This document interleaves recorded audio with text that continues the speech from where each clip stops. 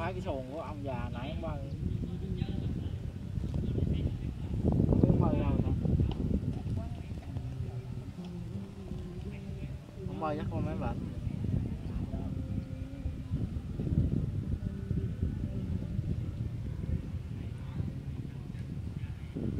Thank you.